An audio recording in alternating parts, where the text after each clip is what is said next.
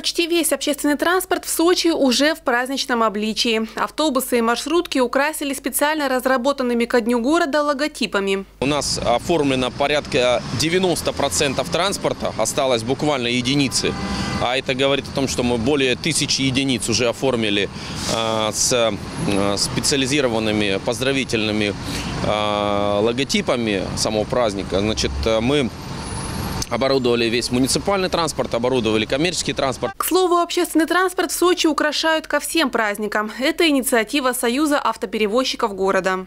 Всегда в городе Сочи э, транспортники украшали свой транспорт э, ко всем праздникам, к Новому году, э, к 9 мая. Все эти жители, все жители, гости все это видели.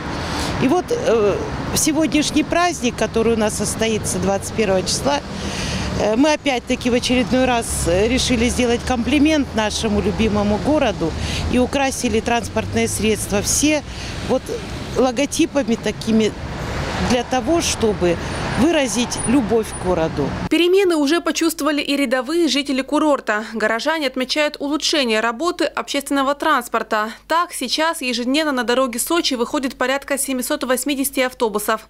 И, конечно, горожане уже заразились предпраздничным настроением. Сочи цветет, процветает.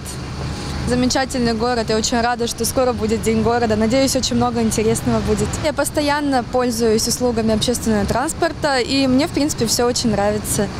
Маршрутчики очень, водители очень приветливые, никогда не нагрубят, не нахамят. Очень нравится. Я считаю, что город Сочи сейчас, ну, один из лучших городов так что праздничное настроение. Я сам вот живу в Хосте, но чтобы из Хоста уехать сюда, ну, проблем нету. Отлично. Сейчас вот после Олимпиады же сделали дороги, и теперь без пробок все великолепно. К слову, в эти выходные, когда в Сочи будут праздновать День города, общественный транспорт будет работать в усиленном режиме. Галина Захарова, Владимир Киселев, телекомпания ФКТ.